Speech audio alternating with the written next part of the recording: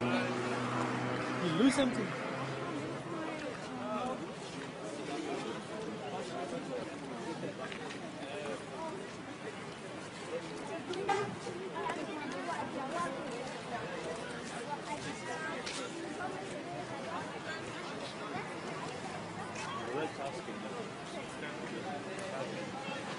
والصلاة والسلام على عباده الذين اصطفى خصوصا على أفضلهم وخاتم النبيين محمد الأمين وعلى آله وصحبه أجمعين وبعد Perhaps you can close that door and open the other one so we don't have this traffic jam over here. And put the, put the, the put the seat, put the chairs in front of the door there. And then open that up there. Thank you. We begin with Allah's blessed name. We praise Him and we glorify Him as He ought to be praised and glorified. And we pray for peace and for blessings on all His noble messengers and in particular on the last of them all, the blessed Prophet Muhammad sallallahu.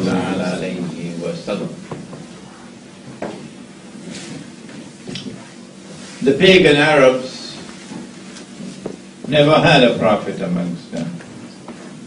And now a man from within their own midst, who they respected, they even honored him. He was so honest and so trustworthy and so truthful. They called him Al-Amin.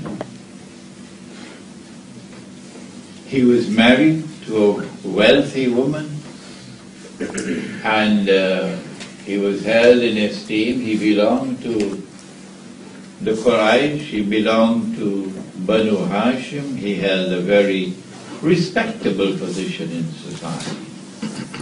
And now he declares, I am a prophet, like there were prophets before. And they knew about Ibrahim alayhi salam.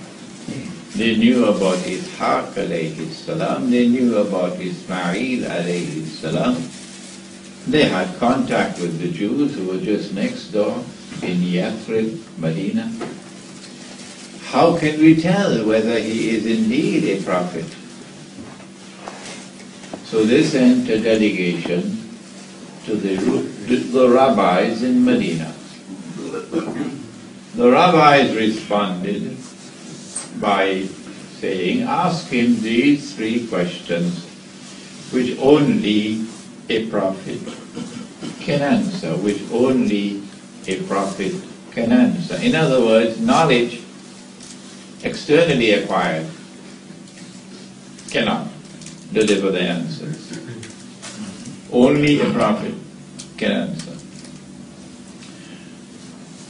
Ask him about the young man and the cave. Ask him about the great traveler who traveled to the two ends of the earth and ask him about the Ruh.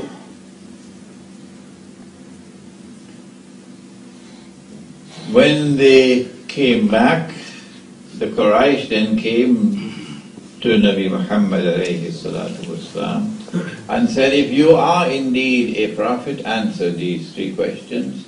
And he says, I'll answer you tomorrow. Hmm. We are told that he forgot to say, Insha'Allah. There could be more to it than meets the eye. That Insha'Allah has a pivotal role to play in the story which now unfolds, namely the signs of the last day. And insha'Allah is also to be found there in the digging of the wall. Hmm?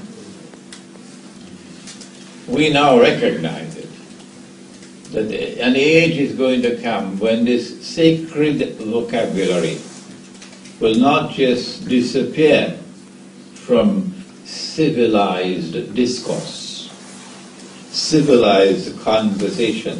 You can't be a diplomat and say, Insha'Allah, you'll be fired. you can't be a diplomat and speak about Alhamdulillah and Subhanallah and astaghfirullah, foreign office will call you back home. Hmm? You can't use this kind of vocabulary and survive in big business. No. An age is going to come when, when this vocabulary will disappear. These pious expressions will disappear. And this is the trademark. The word insha'Allah is used as a trademark by which you'll be able to recognize the subject which now unfolds. Are we in that age today? Most certainly we are. Jibreel Islam kept him waiting for two weeks before the answers were revealed. And there are some people who don't have patience. I better not mention any names, I could be in trouble. there are some people who have a shortage of patience. They can't wait. And so they come to conclusion right away and they rejected Islam. Yes, they did that in Medina. They rejected Islam because he could not give the answer and they couldn't wait. And there were others who were mocking. Look at him, he cannot answer. So we have secured a victory here. Hmm? But we know that Allah is with those who are patient. And if you wait long enough, the truth will come. And so the answers did come. Allah subhanahu wa ta'ala, ta'ala sent down the answers, but significantly, two of the answers were placed in Surah Al-Kahf. but the third was put in Surah Bani Israel. That could not be by accident. Maulana Abul Ala Maududi is a very learned scholar of Islam and we have respect for him, for his scholarship as a servant, a sincere servant of Allah.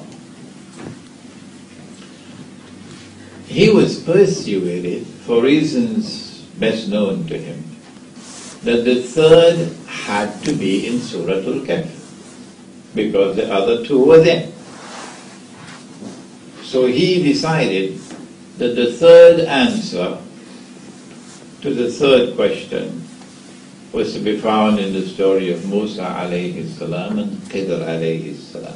Hmm? And he put that down in his tafsir, Tafhim al-Quran. We respect the Mawlana. We respect the ulama, the people of knowledge. And uh, We mean no disrespect when we say, Maulana, you're wrong. Allah put the third answer in Surah to Bani Israel, and He did it for a reason. That there is a link between Surah Al-Kahf and Surah to Bani Israel. That the subject of Islamic eschatology is to be found primarily in Surah Al-Kahf and in Surah Bani Israel. So these two surahs are linked with each other. To find some of the answers posed in Surah Al-Kahf, you go to Surah Bani Israel. the third question was asking about the Ruh. And the answer given to the question delivers a warning to us to be careful, to be careful. Allah says that after He created Adam alayhi salam, وَنَفَخْتُ فِيهِ مِنْ ruhi. And I, وَنَفَخْتُ is first person. وَنَفَخْتُ فِيهِ and I breathed into him of my ruh my ruh. So there is a divine ruh. The Hindus call it Paramatma. وَنَفَقْتُ فِيهِ مِنْ ruhi, so he also has ruh. So So there is a divine ruh. And this is breathed into the human being. So there's ruh in the human being. but then he also has said, تنزل الملائكة والروح that on that night the angels and the ruh descend. وَأَيَّدْنَاهُ بِرُوحِ الْقُدُسِ And we strengthened him with the Holy, or they call it the Holy Ghost, the Holy Ruh. Hmm? And the Christians call it the Holy Ghost. So, which one? We have three here. We have Allah's Ruh, we have the human Ruh, we have Jibreel alayhi salam who is Ruh. So it's a tricky question. Does he know about all of this? Will he be able to answer? How will he answer? Hmm? Ask him about the Ruh. And the answer comes down. And listen to how the answer comes down. Allah first repeats the question and then gives the answer. This must not escape your attention. وَيَسْأَلُونَكَ عَنِ الرُّوحِ And they question thee about the ruh. And then he gives the answer. And then when Allah addressed the question about the great traveler to give the answer, he first repeats the question and then gives the answer. وَيَسْأَلُونَكَ عَنْ ذِي الْقَرْنَيْنِ And they question thee about so and so. And then proceeds to give the answer. I wonder why he didn't do that for question Is it by accident? It could not be by accident. Nothing happens in this Quran by accident. Hmm? There must be a reason why. He does not repeat the question in giving the answer for question one about the young man in the cave When he answers the question concerning the ruh, he delivers an answer which silences them. قل الروح من أمر ربي Amr is command, order. Say to them, say this to them, say only this to them, say nothing more than this to them. That the Ruh is by Allah's command. And that silenced them. There's nothing more. وَمَا أُوتِيتُ مِنَ الْعِلْمِ إِلَّا قَلِيلًا And insofar as this subject is concerned, you have only little knowledge. I have given you only little knowledge. This occurred a few years before. This, this occurred while we were still in Mecca, before the Hijrah. We know that the answer reached them in Medina. We know that. Because when we arrived in Medina, they came to him and they asked,